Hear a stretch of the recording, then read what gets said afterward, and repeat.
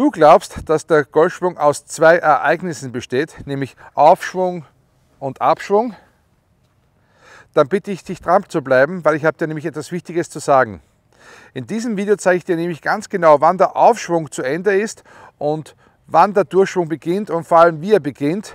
Und wenn du bis zum Ende dran bleibst, zeige ich dir auch noch eine coole Übung, wie du den Ball so richtig knackig und gut triffst und es dabei auch richtig machst. Also bleib dran, wir starten jetzt.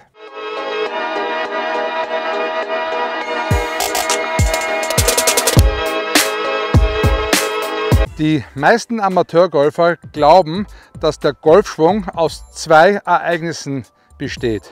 Und zwar dem Aufschwung und dann später dem Durchschwung. Und ich möchte dir jetzt zeigen, warum diese Art zu denken vielleicht nicht ganz optimal ist. Nun, man kennt sie ja, diese Profischwünge, die so richtig in einem Samt durchgehen und wundervoll aussehen. Wie viel Zeit nehmen Sie sich nicht für den Aufschwung und schwingen durch?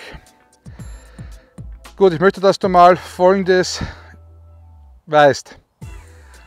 Normalerweise brauchen Golfprofis für den Aufschwung 0,75 Sekunden, bis sie hier oben sind. Und dann, bis sie wieder im Treffmoment sind, wieder ungefähr 0,25 Sekunden. Das heißt, die ganze Aktion von hier bis hier dauert nur eine Sekunde. Manche sind sogar unter eine Sekunde. In dieser Zeit passiert folgendes. Es wird der Druck auf die rechte Seite verlagert, wie du vielleicht schon mal gehört hast, und dann in die linke. Nur das Interessante ist, es ist nicht so, dass der Druck sich die ganze Zeit aufbaut, bis der, der Aufschwung ist und dann geht er nach links, sondern die Profis, die sind bereits mit dem Druckaufbau in der rechten Seite fertig, irgendwo, wenn die Hände zwischen hier und hier sind. Normalerweise wird man sagen, ungefähr bei Schaft parallel oder ein bisschen über Schaft parallel geht dann der Körper schon nach links. Das bedeutet, wenn Sie so früh bereits fertig sind, dass Sie dann eigentlich, streng genommen, Ihren Rückschwung bereits beendet haben. Es gehen zwar die Hände noch hinauf, aber der Körper ist schon bereits in einer Vorwärtsbewegung Richtung Ziel. So, was ist nun die richtige Sequenz des Abschwungs? Okay, es ist so, die Profis schwingen weg und sind wie gesagt ungefähr hier oder hier fertig mit dem Rückschwung. In dem Moment beginnt das Becken schon nach links zu swayen, das heißt es geht nach links, der Druck geht auf Richtung linken Fuß. Der Oberkörper geht auch in der fast derselben Rate nach links mit.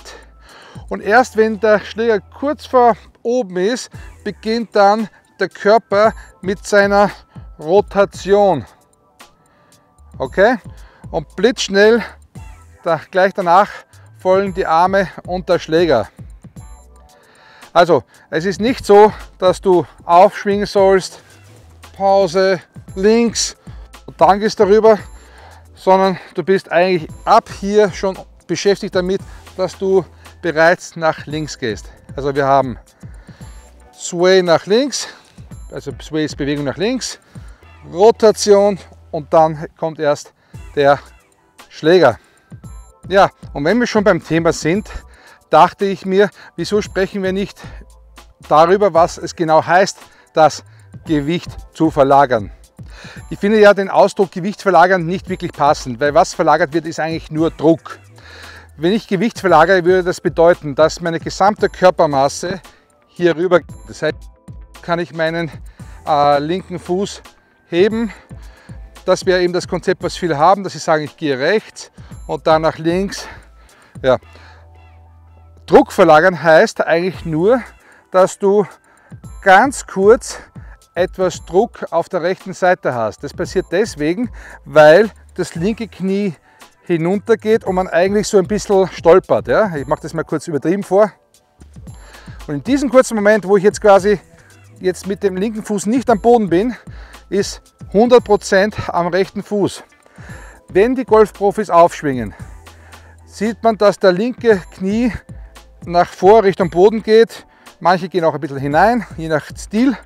Aber auf alle Fälle, sie gehen mit dem Druck auf dem linken Fußball. Und in dieser Phase, während sie da runtergehen, ist, auf der, ist am Boden fast kein Druck in der linken Seite und dafür mehr Druck auf der rechten Seite.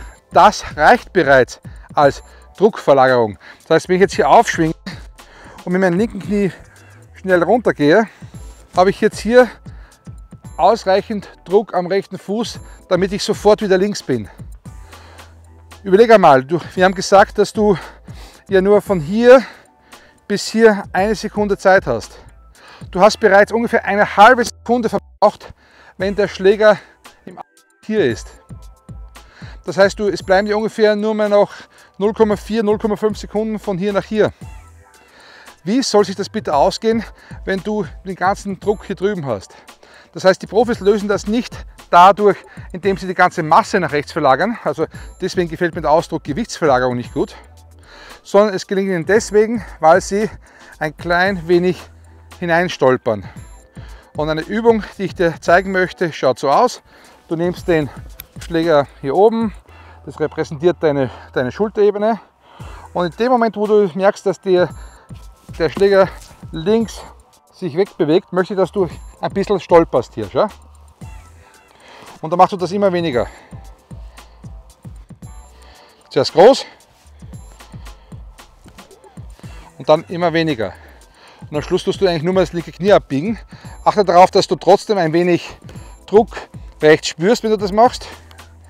Und das ist eine hervorragende Übung, um dieses Gefühl der Druckverteilung zu lernen. Ich habe noch eine tolle Übung für dich. Du schwingst auf und bleibst oben stehen.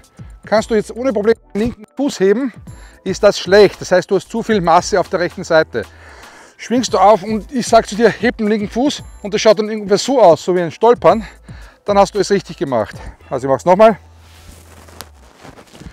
Dann war es richtig. Dann hast du genug Druck auf der linken Seite.